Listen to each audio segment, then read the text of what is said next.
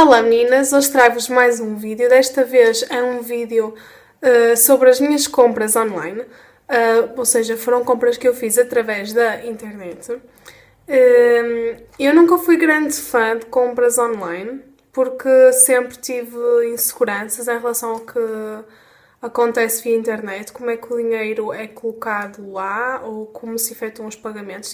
Sempre tive imenso medo de perder dinheiro através de compras de internet, então nunca fui grande fã disso, a não ser, digamos que o ano passado, ou seja, o ano 2013, que não foi assim há tanto tempo quanto isso, uh, apesar de parecer, um, que eu comecei a fazer compras via internet. Uh, arrisquei, fiz primeiro uma, depois outra, comecei a reparar que as coisas realmente vinham bem empacotadas, que chegavam com boa qualidade, uh, que não havia grandes stresses e que um, os pagamentos eram sempre efetuados bem, não é? Não me era retirada, não era retirado dinheiro da minha conta de que eu não quisesse. Um, os dados permaneciam anónimos, etc, etc. Uh, ainda assim, ainda tenho algum receio de fazer compras online. Um, o PayPal para mim é claramente uma aventura para a qual ainda não estou preparada. Uh, ainda já me explicaram como é que o PayPal funciona, mas não é de todo um, aquilo que queria experimentar. Eu prefiro mesmo, através do Visa, uh, fazer as minhas compras diretamente, que assim tenho a certeza uh, que o dinheiro vai lá parar à, à conta da tal marca onde estou a comprar, etc, etc, que não me é retirado dinheiro extra. Estão a perceber? Pronto. Um, a nível de marcas, onde já fiz compras através da internet. Já fiz em várias marcas. Uh, eu geralmente dou preferência a, a páginas e websites de, de, marcas que eu conheça ou que tenham alguma importância a nível mundial, alguma coisa que não seja, portanto, que seja uma marca mais ou menos conhecida, digamos assim, que tenha algum tipo de fama, pronto, não sei, uma marca conhecida que ao menos eu tenho a segurança que terá algum tipo de hum, segurança ali à volta, estão a perceber? Pronto, é, esta é a minha maneira de pensar. É quando uma marca tem alguma reputação ou é uma marca conhecida, não deverá haver problemas com os pagamentos nem nada dessas coisas. Um, pronto, e voltando às compras que eu fiz online, depois desta breve introdução, um, eu, portanto, acho que foi no mês de novembro, foi. A Elf, que é uma marca que eu conhecia, mas nunca tinha experimentado nenhum produto, porque acho que a Elf nem sequer existe aqui em Portugal. Uh, e o website dizia que estava com umas, pronto, tinha umas promoções e eu decidi aproveitar. Uh, e basicamente tinha que comprar cerca de 30 euros em, ou 30 dólares, já não me lembro, em produtos e um, tínhamos entrega gratuita ou era um desconto de não sei quantos euros, já não me lembro muito bem.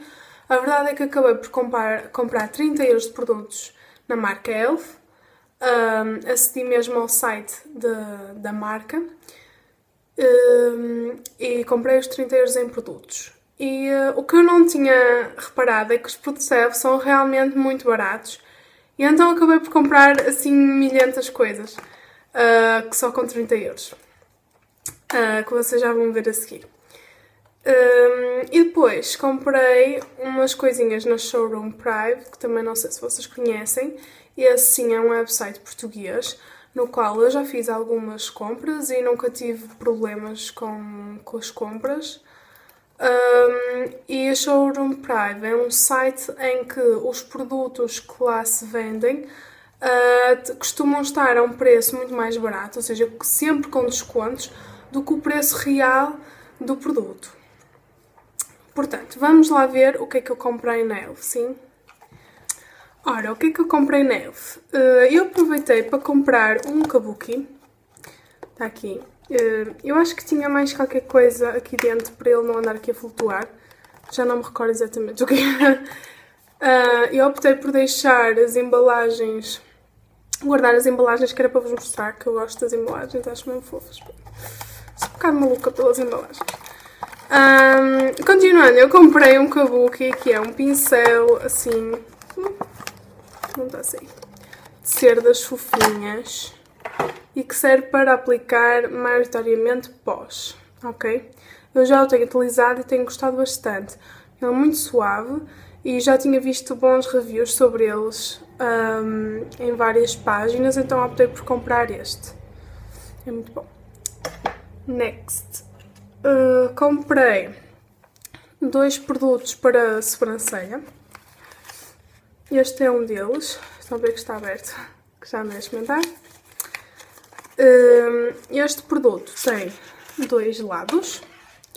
O lado castanho e o lado transparente. Uh, ele serve, este lado é para tratar a sobrancelha e este lado é para preencher a sobrancelha.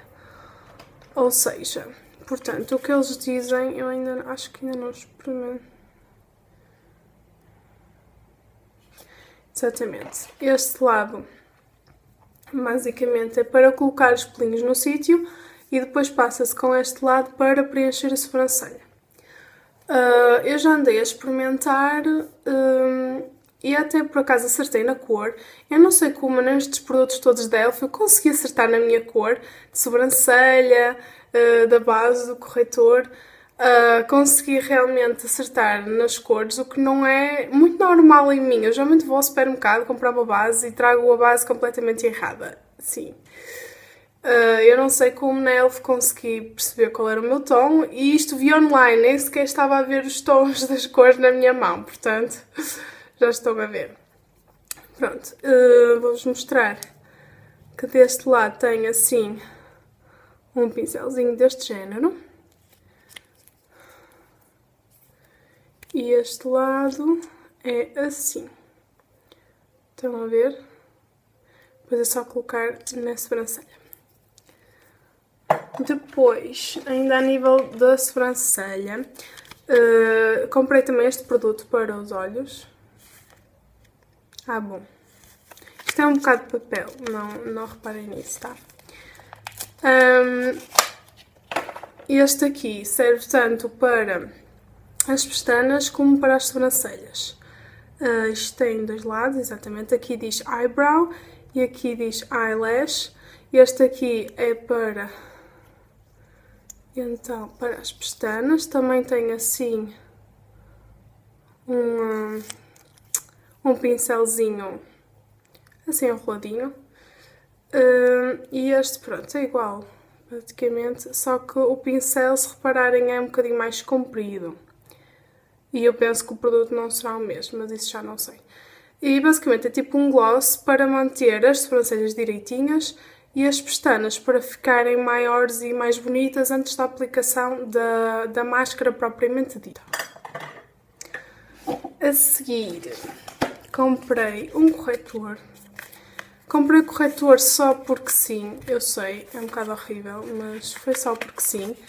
Queria experimentar uh, algum produto ELF que tivesse fosse algum tipo de, de coloração, portanto, se fosse uma base ou que fosse uma base ou um corretor, uma coisa deste género, para experimentar a qualidade que eles têm neste nível, a nível destes produtos.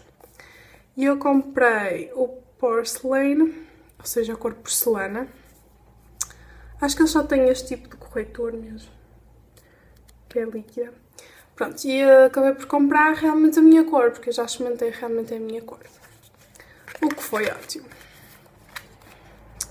A nível de hum, resistência e durabilidade do produto, sinceramente ainda não experimentei quantidades de vezes suficiente para vos explicar se realmente este produto é bom ou não. Uh, portanto, fiquemos por aí. Comprei também este pincelzinho, também da Elf, claro.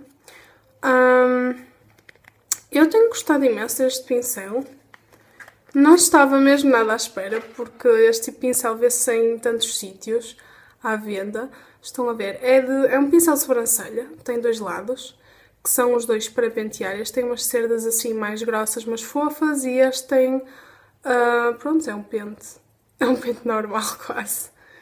Um, e eu gosto imenso, antes de preencher a sobrancelha, eu gosto de passar o pincel e elas ficam mesmo direitinhas. Hum, eu tenho outro pincel de sobrancelha, não é deste género, por acaso é de outro.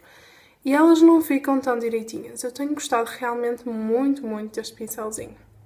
Tenho levado comigo por onde quer que eu vá, porque faz mesmo uma diferença no preenchimento da sobrancelha. Um, para finalizar as compras na Elf, ou seja, estão a ver, não estão 30 euros que eu gastei nisto e tantos produtos. Depois no final ainda os vou contabilizar. Um, para finalizar as compras na comprei dois corretores, ou seja, dois conjuntos de corretores, que são uh, uns corretores de cores. Eu não sei se vocês já tinham ouvido falar sobre isto, um, mas a nível de, de corretores, nós podemos ter corretores com cores. Por exemplo, eu uh, costumo ter vermelhidão no rosto um, e o verde serve para anular este verde aqui. Ok, serve para anular essa cor no rosto. Uh, os outros, por vezes, servem para anular o amarelo, dependendo. As instruções vêm aqui atrás. Eu comprei mais por causa mesmo do verde, da cor verde, que eu queria experimentar para anular uh, a cor vermelha do meu rosto, principalmente em borbulhas que ficam, costumam ficar, uh, às vezes são pequenas, não é? Mas costumam ficar tão vermelhas que nem mesmo a base, com uma cobertura bem boa, não cobre a borbulha e ela fica ali a chatear. Então eu tenho usado isto. Uh, cada conjunto tem quatro cores. Eu vou abrir o outro também. Ah, bom, este nem sequer está aberto. Portanto, vai ser mais complicado. Hum. Ok, porque eu só tinha mesmo experimentado um dos conjuntos. Ora, este aqui tem estas corzinhas todas bonitas. Chama-se Erase and Conceal. E este aqui é que já está bastante usado este verde. Uh, Chama-se Neutralize and Conceal. Sim, é isso. E eles são parecidos, mas não são exatamente iguais. Estão a ver? Hum. A câmera é que podia... Aham, sim, sim, estão a ver, não são exatamente, exatamente iguais. Uh, portanto, aqui estão oito cores para corrigir o rosto. Eu vou abrir um deles, que é para vocês verem. Ele tem um espelho aqui em cima, tem as quatro cores do verde, claramente já está usado, e tem um pincel. Sempre. Ok? A textura é realmente muito pastosa. Uh, basta mesmo um bocadinho de nada uh, disto. Uh, portanto, eu acho que isto me vai durar para o resto da vida.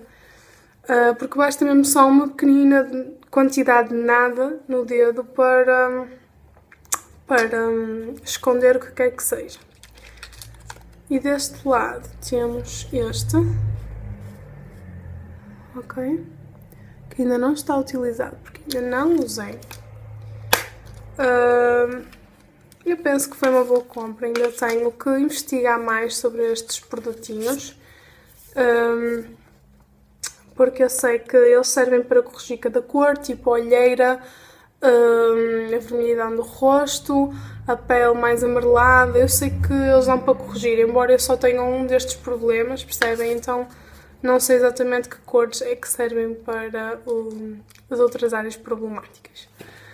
Um, e portanto, concluindo a parte da ELF, eu com 30 euros comprei dois, três, quatro, 5, 6, 7. 7 produtos. Ok, 7 produtos de maquilhagem por 30 euros. E eu fiquei bastante uh, feliz. Hã? Feliz, espetacular. 7 produtos. 7 produtos de maquilhagem de bastante boa qualidade, que eu não tinha essa ideia da Elf.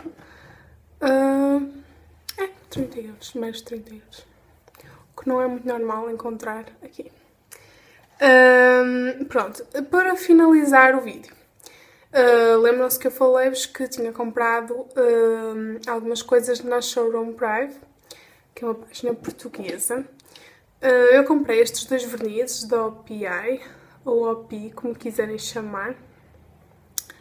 Uh, eu já tinha experimentado os vernizes da Essie, porque, pronto, os vernizes que se costumam mais falar uh, a nível mundial, que são muito bons, não sei o quê, não sei o quê, uh, e que as pessoas mais gostam, geralmente, são os Essie e os OPI. E os Essie eu já experimentei e gosto bastante da qualidade da Essie e todas as cores, que elas são maravilhosas. Uh, mas principalmente a qualidade daquele produto e a relação qualidade-preço eu acho que é boa. Claro que são um bocadinho mais caros, mas eu tento arranjar uma maneira de comprar mais barato. E, por exemplo, a Showroom Private é um website que dá perfeitamente. Eu parece que estou a fazer publicidade, mas não estou, acredita, não estou a ser paga para isto. Mas eu lá já comprei dois. Não, três. Acho que sim, três vernizes da Essie, mais baratos do que o normal. E desta vez acabei por comprar dois da OPI que eu queria experimentar. Eles já não tinham muitas cores, que aquilo esgotou assim de um dia para o outro, como é normal, ah, porque estes vernizes são realmente muito, muito conhecidos. Eu já experimentei este aqui, este aqui ainda não experimentei. Uh, já experimentei este aqui. A verdade é que assim, ele tem umas cores excelentes, mas a nível de durabilidade, eu acho que os DS duram muito mais nas minhas unhas do que os OPI. Pelo menos esta cor não sei se esta será diferente, se eles têm uma durabilidade diferente verniz para verniz, ou se é como os da que têm uma durabilidade igual em todos eles. Eu não sei, porque às vezes as cores uh, diferem na qualidade do produto. Um, por causa dos químicos, essas coisas, não faço ideia. Um, mas a verdade é que este começou-me a lascar. o que não é muito normal em mim, mas este começou-me a lascar mas eu farei um review completo para vocês no blog. Os vernizes OPI geralmente custam eh, à volta de 14,90€. Portanto, estão a ver que é um verniz bastante caro. E eu comprei na Showroom Prime por à volta de 6, 7 euros cada um. Ou seja, metade do preço. Estão a perceber porque é que eu gosto de ir lá. E este vídeo chegou ao fim, eu espero que vocês tenham gostado imenso. Se gostaram deste vídeo, ponham um gosto para mim aqui em baixo e deixem todos os comentários que vocês quiserem aqui em baixo, ok? Uh, se vocês gostaram do vídeo, se não gostaram, o que é que gostariam de ver num próximo vídeo? Sim, isso é importante. O que é que vocês gostariam de ver num próximo vídeo? Ok? Tudo bom para vocês? Tchau!